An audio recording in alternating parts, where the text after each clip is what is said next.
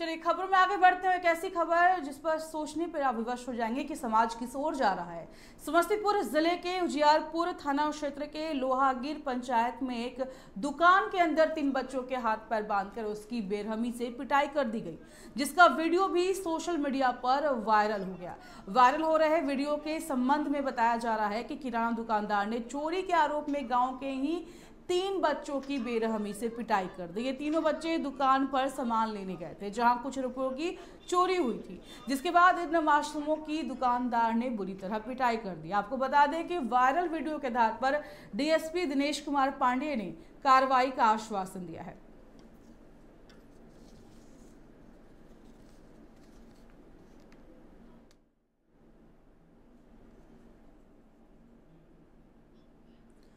और इस खबर पर ज़्यादा जानकारी के लिए संवाददाता पप्पू हैं फ़ोन लाइन पर। पप्पू पूरी घटना की जानकारी चाहेंगे आपसे कि घटना सामने कैसे आई?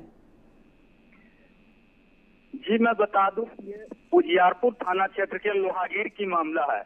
और परिजनों का कहना है कि मैंने बच्चे को पैसा देकर कुछ सामान खरीदने को उनके दुकान में भेजा था।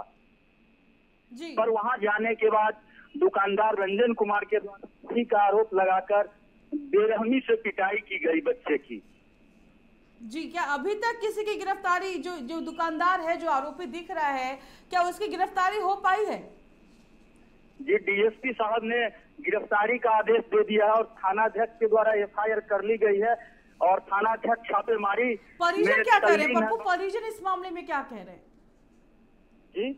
परिजन क्या कुछ कह रहे हैं इस मामले पर? जो बच्चों के परिजन हैं उनका क्या कहना है? वो क्या मांग कर रहे हैं? वो क्या आरोप लगा रहे हैं? इलाज के लिए अस्पताल ले जाया जा और परिजनों का कहना है कि मैंने तो बच्चे को सामान लाने के लिए दुकानदार के पास भेजा था। इससे ज़्यादा परिजन कुछ भी बताने से असमर्थ है। पप्पू, तमाम जानकारी, शुक्रिया आपका। आपको बता दें कि इस घटना के संबंध में हमने पुलिस अधिकारियों से बातचीत करने की कोशिश की, लेकिन पुलिस अधिकारियों ने करनी काटनी चाहिए, बात करने से इनकार कर दिया।